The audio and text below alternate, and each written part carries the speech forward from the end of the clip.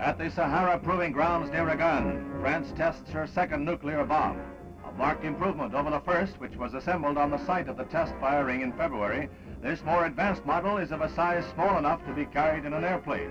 Its explosive power is one-third that of France's first, a major stride toward realizing a compact operational nuclear weapon.